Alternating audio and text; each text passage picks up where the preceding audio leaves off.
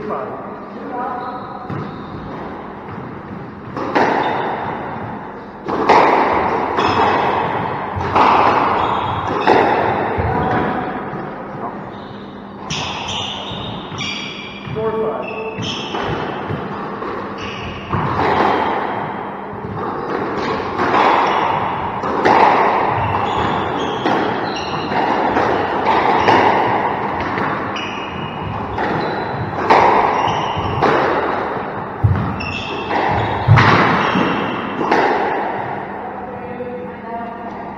Sinh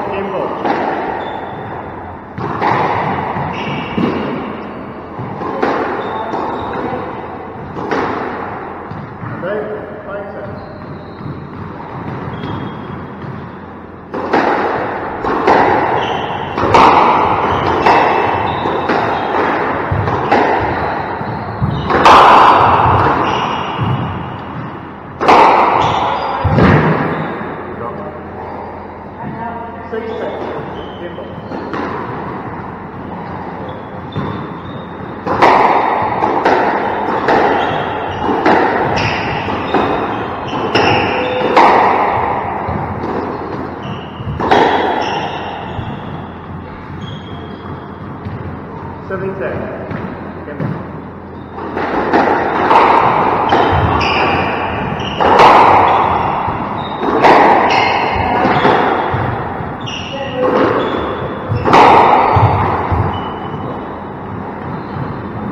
Thank you.